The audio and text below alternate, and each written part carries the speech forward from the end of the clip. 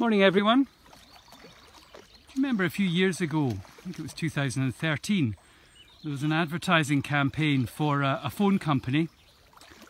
It had the tagline, be more dog. And basically what it was trying to say was, you know, a dog just appreciates the moment. It lives in the moment, it enjoys the world that it's living in and accepts the world it's living in and gets the best out of it.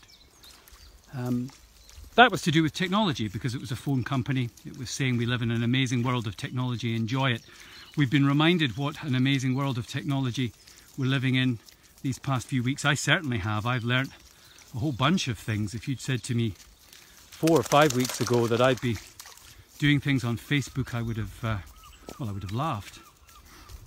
But I think there's a lot of a message in there, be more dog uh, in this moment, get the best out of things that we can at the moment, look on the good side as much as we can, hard as that is. And when our horizons are so narrowed and we're being encouraged to, to stay um, in lockdown over these, these weeks, and our horizons are so narrowed, uh, it's important that we look for the best in each day and that we be more dog.